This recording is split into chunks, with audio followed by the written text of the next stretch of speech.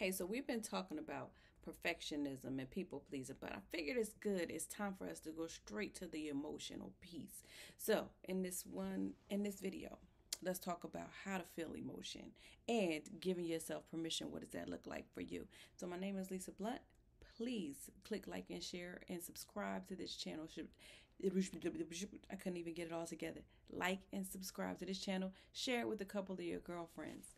And today, let's talk about we've been talking about our emotions and our mindset and how those emotions can um, get in the way of that's for lack of better words because emotions don't really get in the way. So that's really what I want to talk about today. When it comes to emotions, I feel like we we have a culture where it is more so um, it's kind of like don't really feel your emotions. Like we're evolving, we're getting to a place, and if you're watching this channel, you've probably seen a few videos uh, where people are talking about their emotions and being vulnerable and expressing themselves. But as a culture and as a society, we've been, especially, um, I want to say, especially black women, like we've been conditioned in a sense, but also just kind of I mean, because it's cultural. It's not just black women, but especially black women. It's like if we show a little bit of emotion, now you're an angry black woman. But we never go to the root of it. We never go to the to to never go to the fact that you've been dealing with this thing over and over and over and over again, and you have every right to be angry in that moment. We don't really talk about that. But we also don't talk about how the fact that anything, very often when we say something, when we speak, it comes off as angry or it's perceived as angry when it's just listen i'm just telling you what it is. I'm i'm not mad i'm not angry. I'm just telling you it's how it is. So sometimes we we get that right? We don't even get the benefit of being able to express our emotions or being able to feel what we want to feel. But let's talk about feelings in general and feeling emotions and why is such a taboo thing? Like I think in order to really get to, let me share this. In order for you to get to what may be stopping you in terms of we talked about procrastination and people pleasing and perfectionism there are things that real life hurt you in the, in that arena that cause those things to happen that create more anxiety that create more stress that create more depression and very often it comes from suppressing emotions. It comes from not allowing yourself to feel your emotions or not knowing what exactly that emotion is. So I'm questioning you, I'm challenging you to feel let me see how do I word it to I'm going to I'm going to challenge you to question it question your emotion. If you if this is something that interests you and this is something that you really want to change now if you're okay with just covering up your feelings and you're okay with i'm not trying to go too deep and you pushing things away and you're numbing yourselves like often let me say this too before i go to what we should do um, in terms of feeling emotions. Very often we'll engage in numbing activities. So maybe you don't even know that you're not feeling your emotions or you're walking around and you're not really quite sure why you're having this level of anxiety or why you feel like you just can't participate or you don't want to partake in something outside of just not wanting to because that's okay too. But you're engaging in numbing activities right? So a numbing activity might be binge watching netflix right that's okay if every once in a while you're gonna binge it, I, I, mean, I save up my insecure. Come on now, I was saving them up. That's not on Netflix; it's on HBO. But I'm saying, I was saving up the season because I don't want to have to wait till the next. I didn't want to wait to see what Lawrence and them was doing. I didn't want to wait, so I'm gonna when I know I'm gonna have my moment. This my binge watching moment. This my moment that I'm about to be doing absolutely nothing. And my moment comes, and I know it's coming because everybody needs a moment. I'm I'm gonna use that time to numb out and watch and binge watch a show. Now, numbing activities can also be using using drugs. It can be drinking. It can be drinking that uh a little a, a, a glass of wine to take the edge off. Is that what people say, right? To take the edge off at the end of the day. But if you take the edge off every single day, more than once a day, and you're using that just to numb so you don't have to feel what happened that day, that's when it becomes an issue.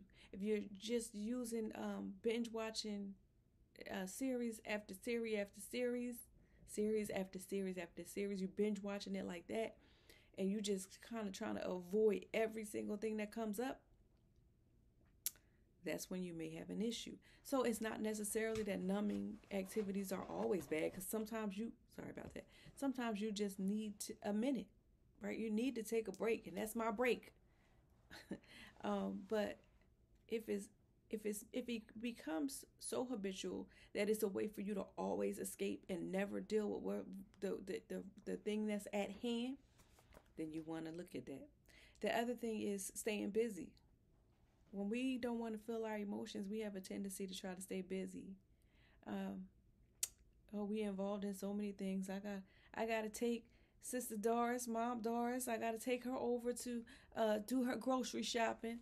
I got to um, I gotta be on this board over here. I gotta take the kids over here, and then I gotta make sure I prepare uh, groceries for for four weeks, and then I gotta take this one over here, and I gotta run this one over here. But I also I gotta write this essay because I'm trying to do my my blogging, and I'm trying to start these videos, and I'm trying to do these things over here. And I I told uh, Shakita I was gonna come help her to uh, lay her carpet down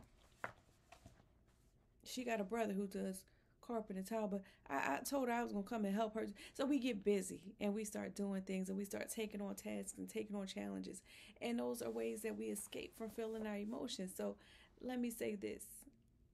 If you are at a point where you say, you know what, I I had enough, about enough of this, and I, I really want to I don't want to escape my emotions, but I'm really just not sure because it's a t- it's been a taboo topic. Like if you feel some emotion, I mean, growing up for me, I don't know. I guess it depends on what age you are. Because if you a generation under me, you probably really didn't play outside. But when I played outside, you was not allowed to be out there crying. You could not be outside crying. You couldn't be feeling your emotions and talking about I feel that you you could not do it. And as a result, we learn to smother our feelings. We learn to put them out. We learn to stuff them down and we learn to shove them. Unless you grew up in a house where your parents were like, you know, tell me how you're feeling and or either you saw a professional early on and they helped you to be able to express that because I did have some really great teachers and counselors in high school who taught us about our feelings and uh, and helped us to kind of put me on the path but even with that it's not without lots of work. So, going back, so allow yourself to feel what you feel. Feel the emotion. If you're ready, feel your feel the emotion. I'm if I'm angry, if you angry, you angry. You have a and feeling the emotion without judgment, right? Because it's okay. Whatever emotion you have, you are well within your right to feel what you feel. Nobody can tell you how to feel you have every right to feel how you feel. So feel your emotion. Sit with it. Breathe with it. Learn the art of breathing. I'm going to teach you a breathing technique at the end of this too. And I want to say question your emotion. Question it. Don't judge it. Just question it. Don't don't say, "Oh, I'm a bad person cuz I feel this way," or "I'm I'm a good person cuz I don't feel that way." Don't judge it in that way. Listen, I feel like hell, I feel like I could have just pushed her cuz I was so angry. It doesn't make you a bad person cuz you had a feeling about something. But what is it that would make you feel that way? Examine what that feeling is and what it's coming from and what the root of that thing is or I'm really sad when I don't get to talk to my family and I feel like sometimes I'm reaching out to them and they're not reaching back out to me. So uh, sometimes what people will do is they'll withdraw further when you really wanted to press in. So identify that, notice that, and see. It doesn't make you a bad person, so don't judge it. Don't put any judgment on it. Don't say I'm good for this or I'm bad for this. Identify what that emotion is. If I'm sad, I'm sad. If I'm hurt, I'm hurt. If I'm angry, I'm angry. But what is the emotion you're feeling? And don't judge that emotion at all. Just notice that you feel it. Man, I really feel. Yo, I, I'm I'm not even really mad. You, you know what I'm saying? I'm I'm I'm really I'm really I'm really hurt by the fact that I wanted to spend time with the person and they just they played me. They ain't even want to spend time with me. So I'm I'm really hurt. And here's the last thing I'm going to say give yourself permission. Give yourself permission to to to to to to to, to have a good time. Give yourself permission to experience joy. Give yourself permission to to be to not have to be caught up in